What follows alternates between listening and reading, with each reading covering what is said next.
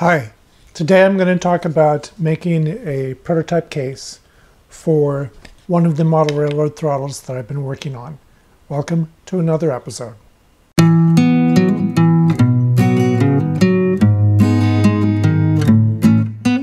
Hi, my name is John.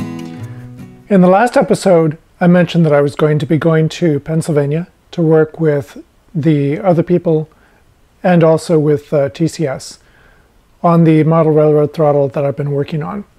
Before going there, I wanted to have a some prototype throttle cases for the smaller throttle. I 3D printed a bunch of cases, but they're not an exact match.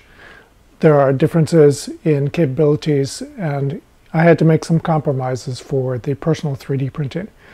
So I had this idea just before it was time to leave of like about a week before it was time to leave, of using my CNC machine to 3D mill the set of parts out of solid blocks of plastic. Now, because I didn't have the idea earlier, I didn't have time to order plastic. So I went to Tap Plastics, which is just a couple miles from my house. They had UHMW, but they didn't have ABS uh, or acetal in the size that I needed. So I used uh, UHMW. UHMW machine's okay, but it tends to push the plastic sideways sometimes instead of removing it, so you get a lot of uh, extra plastic that I had to get in there with a hobby knife and scrape it away, which wasn't a lot of fun. This is the result. You can see I have two halves here, and each one of these was a solid block of plastic, and I would mill it from one side, turn over the block of plastic, mill it from the other side, and then cut it out. And there are some things that worked better than others. So uh, on the top, let's see if I can get in here uh, close enough. So right here is the depression for the uh, thumb switches. And that turned out well on the top, but on the, on the bottom, I should say. But on the top, I forgot to mill that part out, so it's not actually there. And I thought about that when it was too late. So if I were to do this again, there's a lot I learned, and therefore I would do a much better job. Uh, if you look on the inside, it might be kind of hard to tell, but there's some areas like along here where I had to do a lot of scraping with a hobby knife because there was plastic left over. But you can see it did a, a good job and gave me uh, good results.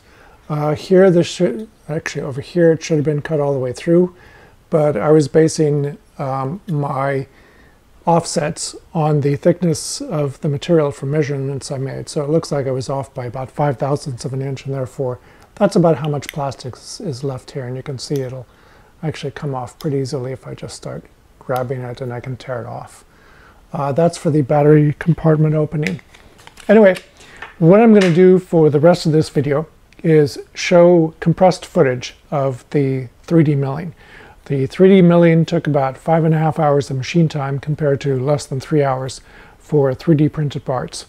And a lot of work with me going in there, checking things out, uh, changing the cutters, uh, flipping things to the other side, etc. So it was actually a lot more work than 3D printing. And so what I've concluded from this is that I'm going to use 3D printing for the majority of the test because it's a lot easier.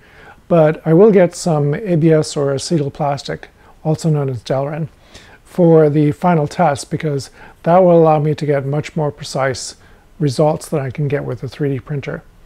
Anyway, let's head to the workshop and the rest of the video is all going to be 3D milling. So if you're not interested in that, you can skip the rest of the video and you won't miss anything.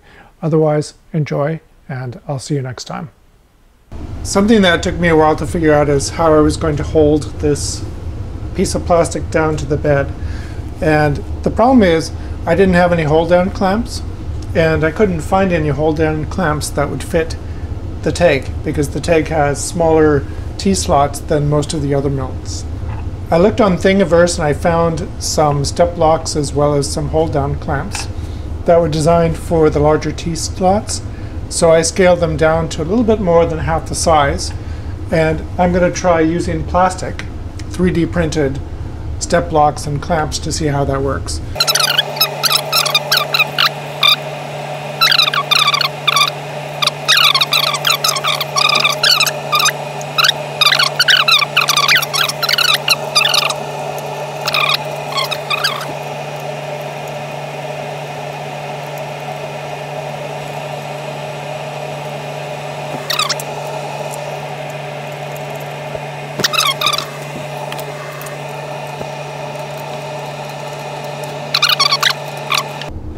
Okay, so the next thing I'm going to want to do is uh, get a dial indicator in here and make sure that I've got this lined perfectly with the front end. Okay, I got this set back up, so let me zoom in again.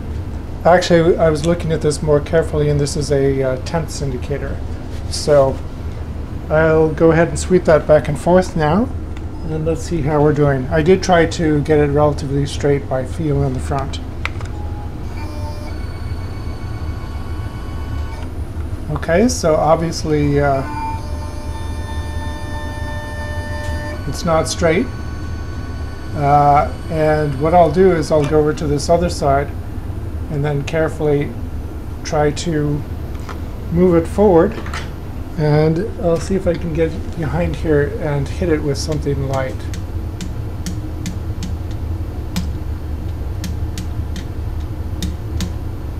Okay, I'm not quite sure how far I hit that. Let me uh, set it back to zero. And then let's go across and see how I'm doing.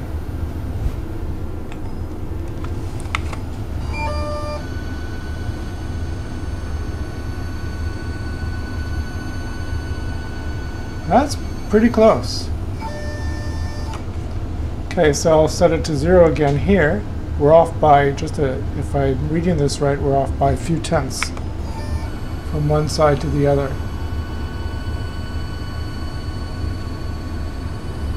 So that means about one thousandths of an inch. So I'm going to see if I can, oops. Okay, I think that's about where I, I want it to be.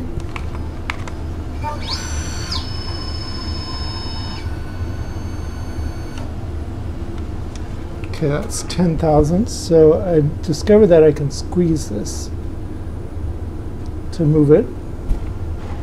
All right.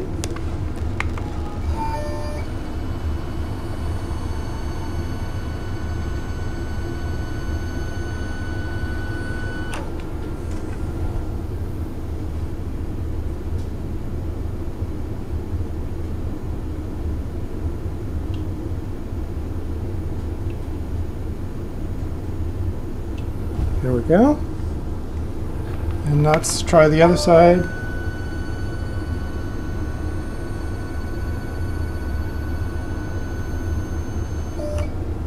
I'd say that's uh, pretty good. So I'm going to go ahead and uh, tighten the the four sides